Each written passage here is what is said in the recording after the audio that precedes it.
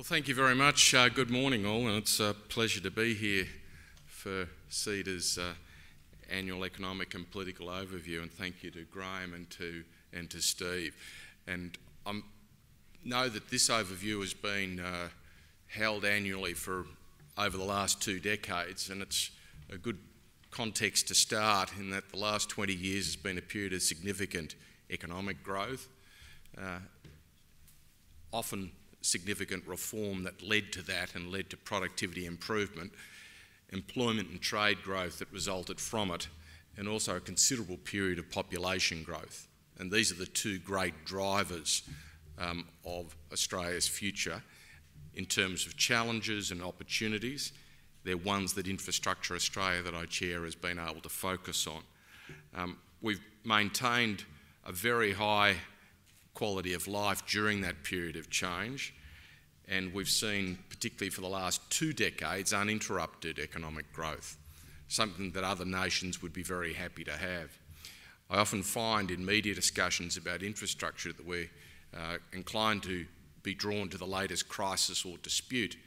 Um, my underlining feeling is, though, that uh, the issues that confront us in terms of infrastructure and the economy are ones that this nation would actually be proud to have. The problems we have are the problems of handling growth. Population growth, which other nations would be very happy to have, and also economic growth, which, which others would be happy to have. So I think we should have a good context of being positive about what we're facing. If we do, then I think we can face it with the same degree of success as we have for the last few decades. Uh, that being said, the growth is considerable and it will mean that we have to have a lot of change. Nowhere more do we need that change and that focus than in infrastructure. Just look at population. Australia's population growth now exceeds that of our peers. We are outstripping the growth in Canada, the US, outstripping the growth uh, in the UK, and just recently our population nationally hit 24 million. By most measures, though, um, with the economic growth and population uh, increase we've seen, Australia is doing well. Whilst we still face uh, economic risks from overseas, there's little doubt that our nation is well positioned uh, for the future. In particular, because in our region that we're so well connected to, the region is going to account throughout Asia for two thirds of the world's middle class population and they will be seeking the exports of products and services and skills that Australia is perfectly positioned to provide. Our geographic proximity to the region and the quality of what we can offer in terms of exports, uh, it's going to provide us with opportunities for trade, growth, and employment here uh, that is unparalleled we can continue the national success story as long as we're ready to cope with this growth. In infrastructure, uh, we therefore have to focus, and that's what I want to address as part of this element of talking about the future. Infrastructure Australia believes that considered and well thought through infrastructure investment is going to be one of the most effective ways for us to achieve and deliver the qualities we want out of economic growth. To ensure that we can take advantage of the opportunities, we need infrastructure that, one, strengthens our global role as an exporter of resources, but also as an uh, exporter of services and products, improving the networks and gateways, and, and boosting connectivity between businesses. Two, we need it that in, so that it meets our needs as a highly urbanised nation, enhancing the livability of our cities through infrastructure investment. And thirdly, we need infrastructure that underpins our prospects for sustainable growth by focusing more than we ever had on resilience and on whole of life asset management. I'm afraid to say that currently, despite recent increases in government spending and increased private sector participation, there's a real gap in the overall quality of Australia's infrastructure. Australia should be in the top 10 nationally of nations globally uh, in the way that we are positioned on infrastructure, but we're rarely regarded as being even the top 20 today. If we keep going this way, our performance will continue to fall behind. Our objective should be, as a nation, to be a top 10 performer. So the time has come, if we want to achieve that, to implement long term reform and secure the social and economic benefits that come from good infrastructure. Last month, Infrastructure Australia released the first 15 year Australian Infrastructure Plan. The plan builds off the work we did with the Australian Infrastructure Audit last year. The plan is a roadmap, an agenda for change that Australia needs to perform better in regards to its infrastructure. It's ambitious, but it's also pragmatic and explains the change required, but also explains how to make that change happen. Delivered alongside the plan is a refreshed infrastructure priority list. The list provides clear strategic direction and guidance to decision makers on the infrastructure investments that will underpin Australia's continued prosperity. Together, the plan and the list provide the solutions for the nation over the next 15 years, which was the mandate given to us by the Prime Minister. Both are the result of extensive consultation filtered through the independent and objective lens of Infrastructure Australia's board. If we deliver the reforms and the priorities in both documents, we can capitalise on the economic opportunities of our geographic region, we can enhance the livability of our cities and our regions, and we can secure the social and economic benefits that come from good infrastructure. It's not going to be easy, but if we focus on the challenges, I think we can do it as a nation. When we released our audit in 2015, we projected that by 2031, not far away, Australia's population would grow to more than 30 million people. And this chart, really in a simple form, just outlines the challenge that is ahead of us. These are our projections with the Australian Bureau of Statistics of the growth that will occur by uh, 2031 and by 2061. The bottom line is that most people will live in our four largest cities, which grow considerably Sydney, Melbourne, Brisbane, and Perth. This is, this is welcome growth, as I said. Most nations would love to have it, but it'll need to be managed well. Equally, we have to focus on the fact that we need to spread that growth, and I'll discuss that in my address today. A growing population is undoubtedly a source of dynamism. It provides a larger domestic market for businesses, it increases the size of the labour force, and it facilitates an injection of new ideas. But growth also places more demand on cities, on regions, and ultimately it places a lot more demands on government budgets. The audit identified that if we fail to act comprehensively to harness and deal with this growth, then Australia faces a future of congestion and constraint. The road congestion alone is projected to cost the Australian economy 53 billion by 2031. This congestion has real world consequences for ordinary people. Increasing bottlenecks and delays will mean it takes longer for Australians to get to work or home. Our goods will take longer to reach ports or shops, and the many services we rely on for infrastructure will decline or not grow as they need to given the increasing number of residents. In our plan, we identify that to sustainably meet our projected population growth, we need productive cities and we need productive regions. In our capitals, we need to see those cities grow up, not out, while maintaining and enhancing our world class livability. Our cities must move to high frequency mass transit networks with turn up and go transport services that save people time and money. Smaller cities and regions need to also play their part and should capitalise on growth for themselves, but also to relieve pressure on the larger cities. Better connected regions will facilitate growth and provide people with more opportunities to live and work where they want.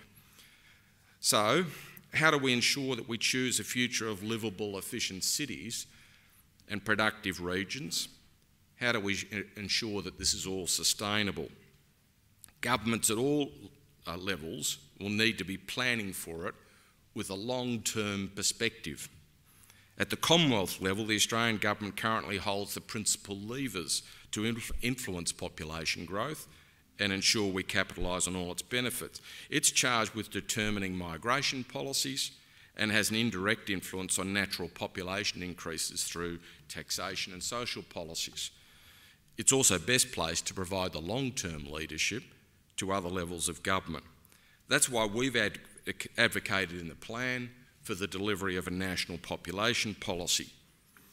The policy should identify Australia's long term population pathway over the next 50 years. It should identify the requirements to service this level and type of growth, and it should outline what the Australian government role will play in managing these challenges and opportunities.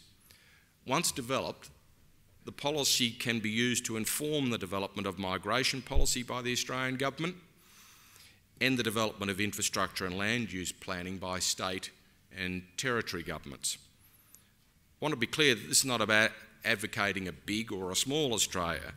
It's about ensuring that we influence our population growth as has been charted by the Australian Bureau of Statistics and influence it in our best collective interests and fully capitalise on the potential benefits for the economy and for the community. Planning our future will let us shape it. All state and territory governments will therefore need to create long term infrastructure plans for the next 15 years and beyond, as is already occurring here in New South Wales.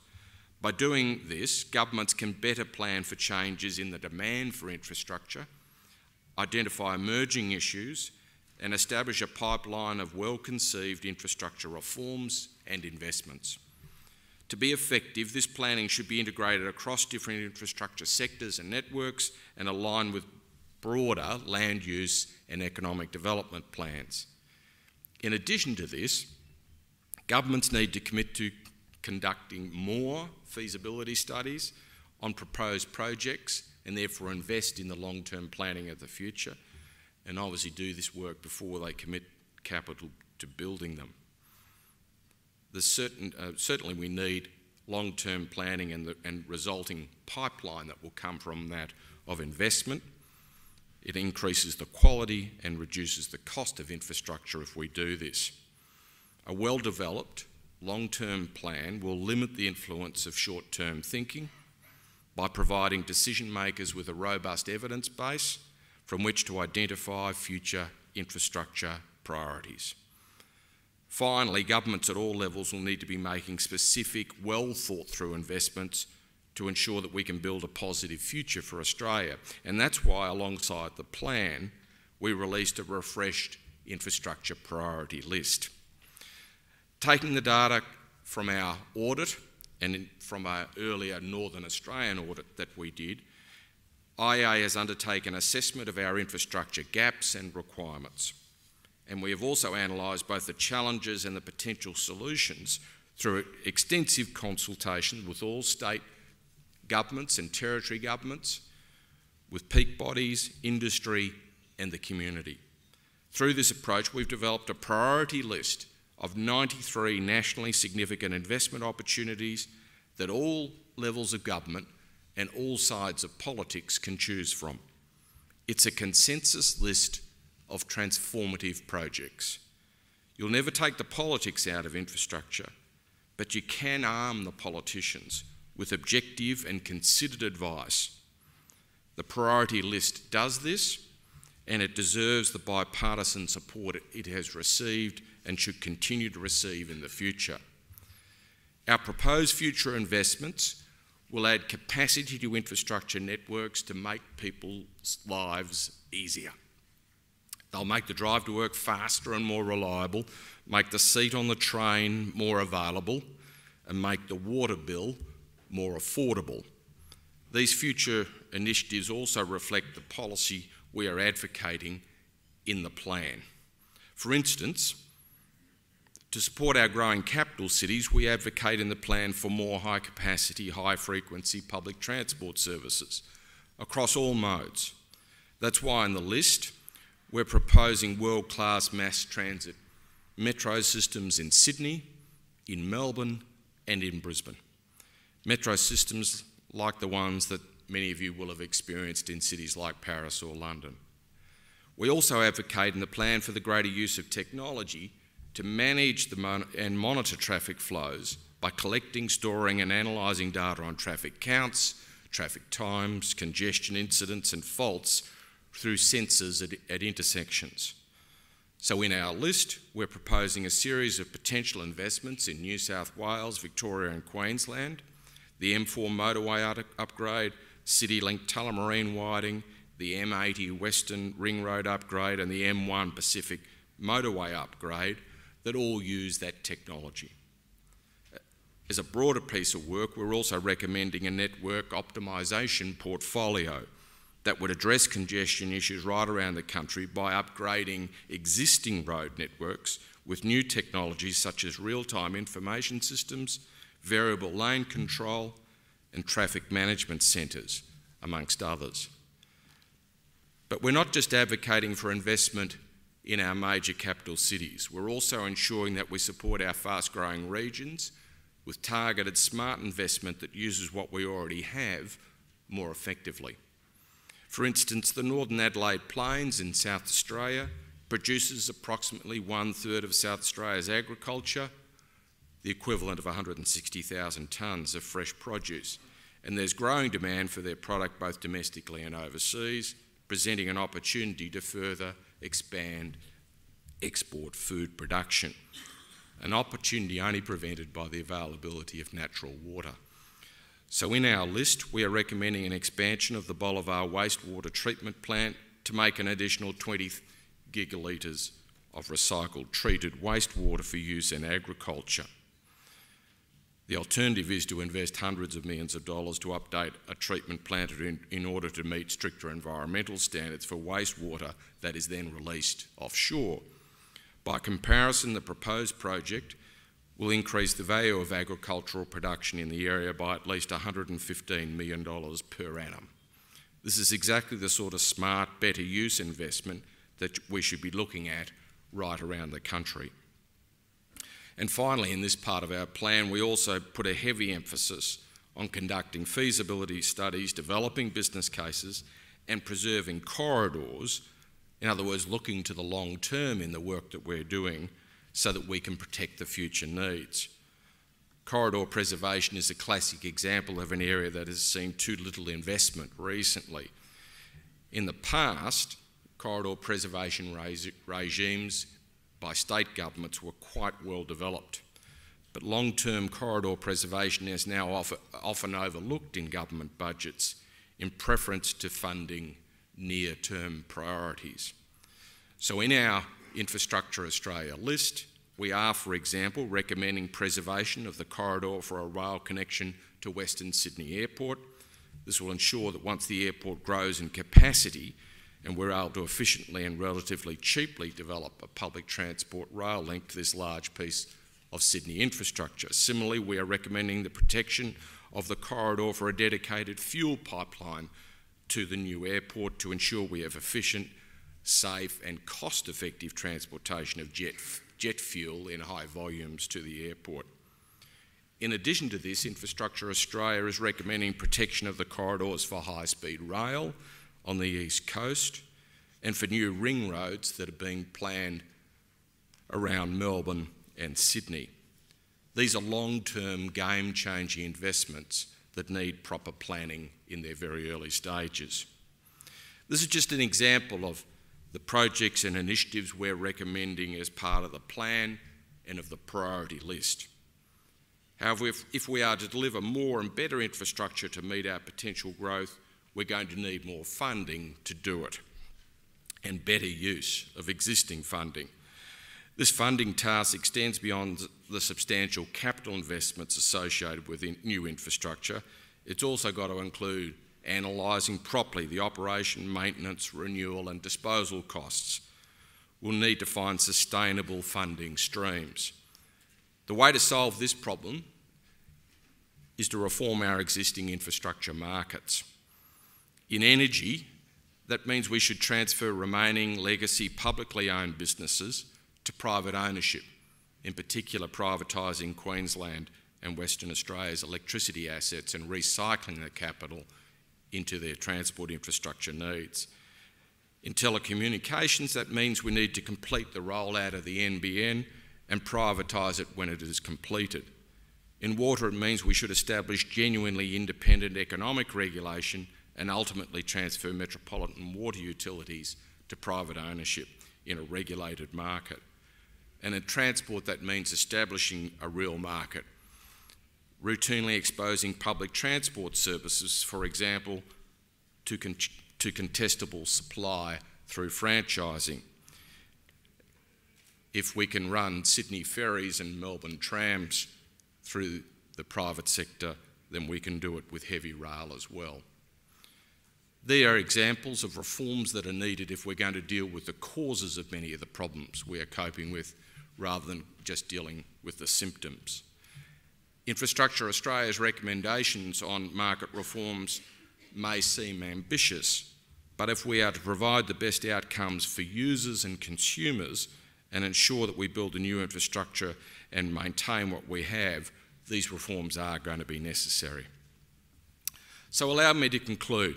With the release of the plan and the priority list, we're presenting a whole package that works together.